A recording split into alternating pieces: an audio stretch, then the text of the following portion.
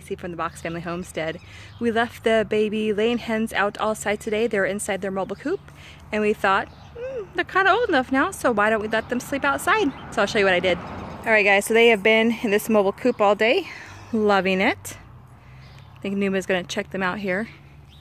But I put extra straw and hay into this coop to keep them warm tonight. And they have water and they have food over there. Um, the door's closed. They have a little bit of ventilation up there. You could probably see Numa up there checking them out. But hopefully they stay warm enough tonight. I'm sure they will. It's warm in here.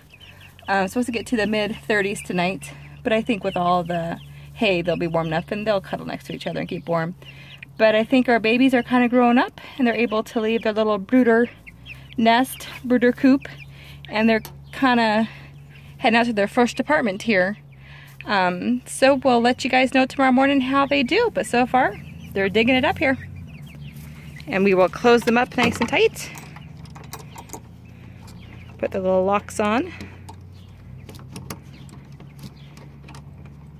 There's one. And there's two, just to make sure they can't get out. We'll make sure the cat is just hanging up out there. I'm sure they'll do fine tonight. Anyway, hope you guys have a good night. We'll see you next time.